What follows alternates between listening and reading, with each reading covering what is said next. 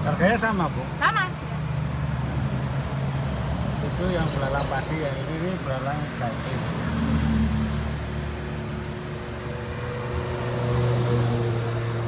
Belalang, belalang goreng. Ya, cocok. Belalang padi kan yang hijau-hijau itu kan. Bu. Ini gede-gede.